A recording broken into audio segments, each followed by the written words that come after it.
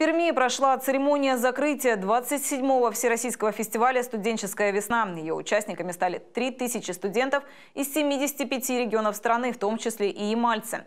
Представители нашего округа заявились практически во всех направлениях фестиваля. Их выступление оценивала опытная жюри. Это знаменитые артисты, музыканты, режиссеры и хореографы. Всего 39 человек. По итогам фестиваля Ямал завоевал звание лауреата третьей степени в направлении «Региональная программа». Кроме того, лауреатами первой второй и третьей степеней ямальцы стали в таких направлениях, как музыкальная, танцевальная, театральная и журналистика.